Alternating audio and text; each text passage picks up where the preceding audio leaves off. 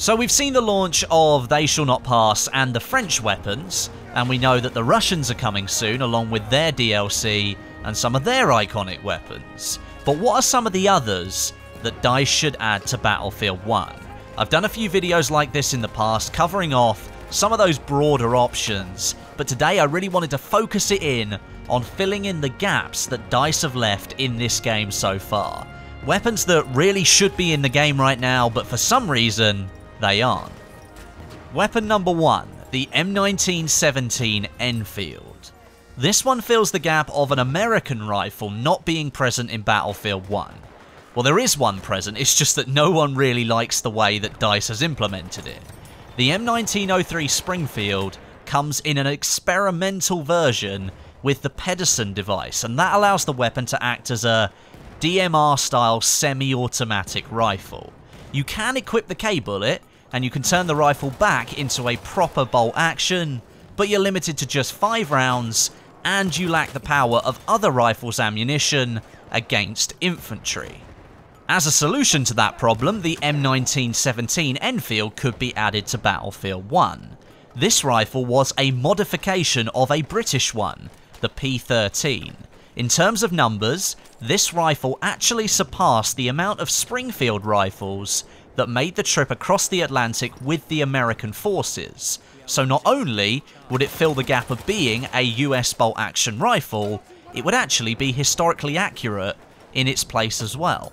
This rifle, also known as the P14, came about because of the British they'd commissioned American arms companies to make a new weapon before the war started, and its features mimicked a lot of the German Mauser rifles, which were known at the time to have had superior long-range accuracy.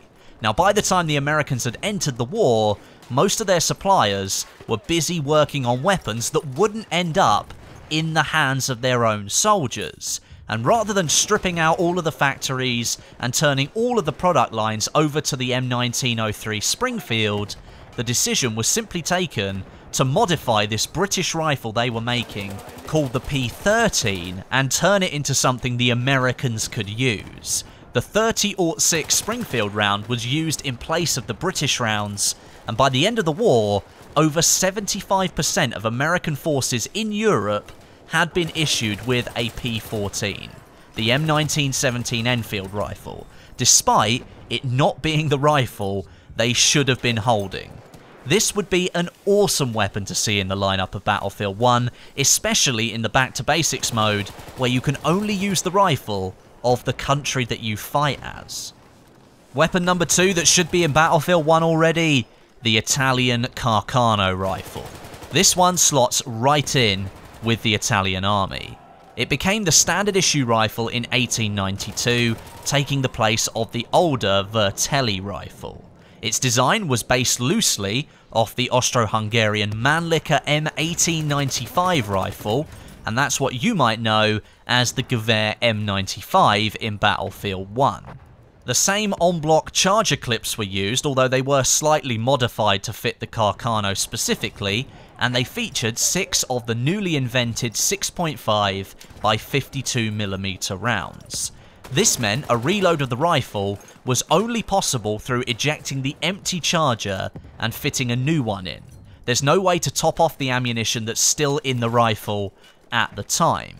This, however, did make reloading the rifle much easier than some of its competitors who were still stuck using standard clips into internal magazines, or in the case of the French, they were reloading single rounds into their Lebel rifle. Although this would be a rather similar rifle to the Gewehr M95 that's already in the game, I personally feel it would be a good move to introduce this for the sake of each nation or empire within the game having its own rifle. We know damn well the Russians will arrive with their Mosin Nagant, and the French just turned up with their Lebel rifle. I think it's high time the Italians got theirs as well, and that leads me very nicely onto the third weapon in this video, the Ottoman Mauser. This rifle was produced by Germany in the late 1890s, and it was very much a defining design of how other rifles produced there onwards would look.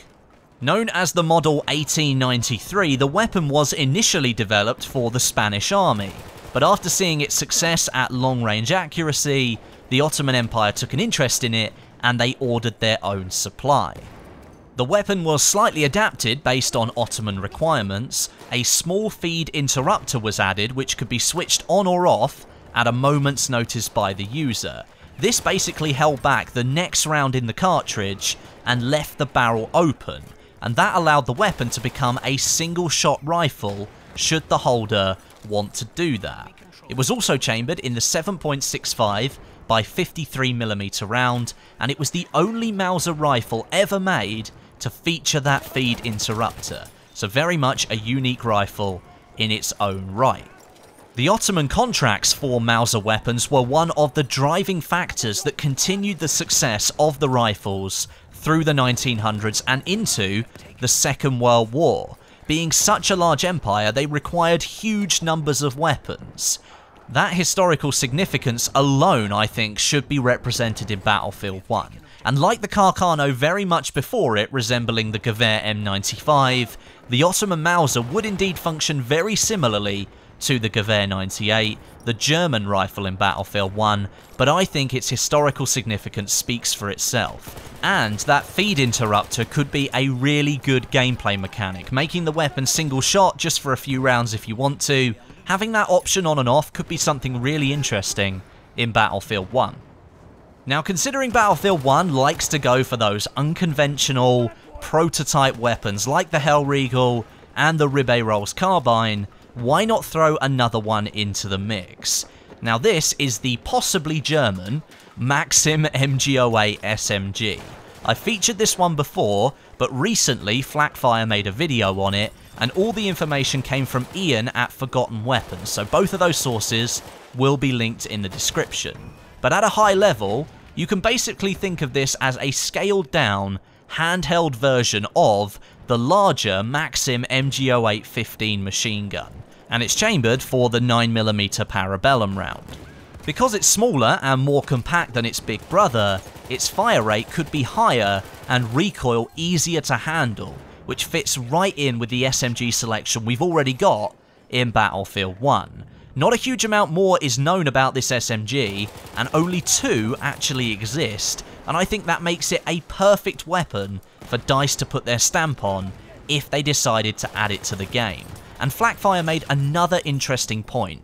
This weapon could fit straight in to the Apocalypse DLC for Battlefield 1.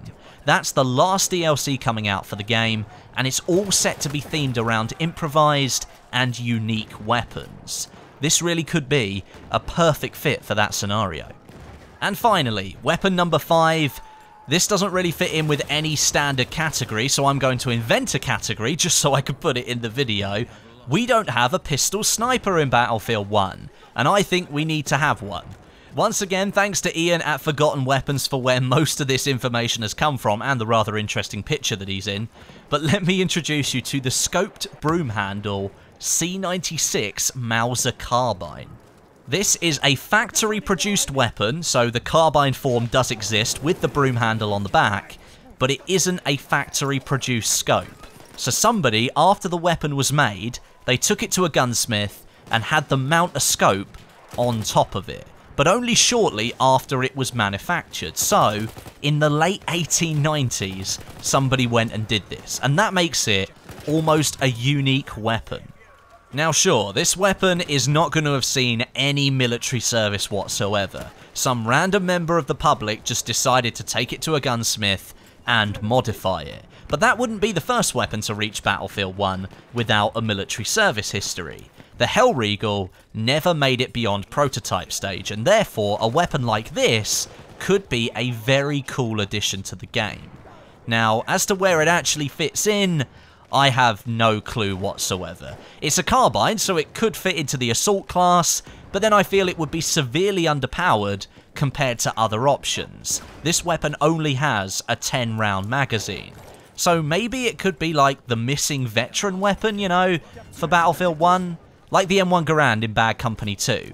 Battlefield 1 doesn't have a veteran program, it doesn't have a veteran weapon, like many of the previous games have done. This would be a really cool weapon for people who've played those previous games. So those are five more weapons that DICE should add to Battlefield 1.